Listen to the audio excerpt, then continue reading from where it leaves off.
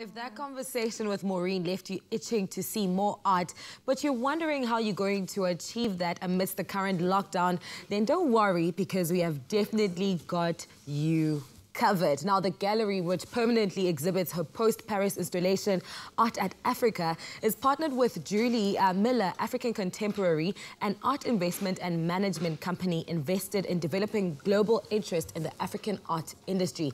Now, Julie and her team are really passionate about the potential of our local talent and industry, and they have a really cool way for all of us to check out some amazing works. Now, if you go over to our Facebook page, Expresso Morning Show SABC3, you'll find a link that will take you to a virtual gallery that will provide you with a 360 degree look at the sensational pieces inside. So let's walk in and actually take a look. Girl, I am obsessed with this. Are you an artsy person?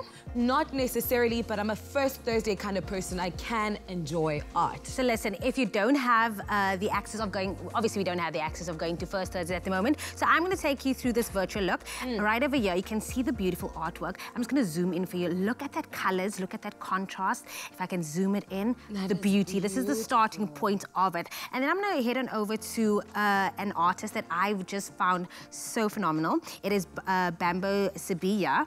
And Bambo Sibiya. Bambo Sibiya. Just zoom that in. Look at the beauty, so the does the, does the app then allow you to actually walk around the the gallery. Yes, and see different artists. So whatever artist you want to see over here is Bambo Sibiya. The next one I'm going to go to Gerard van Vuuren. And I spy with my little eye. Who do you see? Ooh, Who do you see? Ooh, Jimmy, you need to charge your phone, girl. Girl, honey. we'll talk about that later. But let's just zoom in. Who does that look like? It looks like you. Yes, a little bit. so Gerard uh, recreated this. Actually, it's not me, guys, but uh, Gerard created this. The beauty. I'm going to zoom in as well and then just see, like, that fine lines that it the intensity in the eye. I'm an arty yeah. person. I'm not the person that goes to the gallery and just be like, ooh, I like the intensity. So sometimes I don't know. Break it down. Sometimes like I don't know. Tea. Yeah, sometimes I don't know what I'm talking about, but then it just sounds uh, uh, like amazing. Enticing. And, yes, I'm gonna go to another one, Olatunji Sanusi, and this is the Joburg skyline.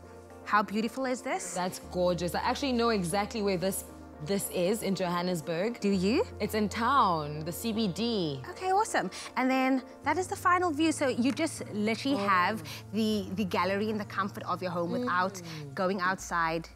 What is that? What is that? It's beautiful, absolutely amazing. Now, if you enjoyed that and you actually want to experience it by yourself, head over to our Facebook page to enjoy some local art. Tabs, are you back in the kitchen?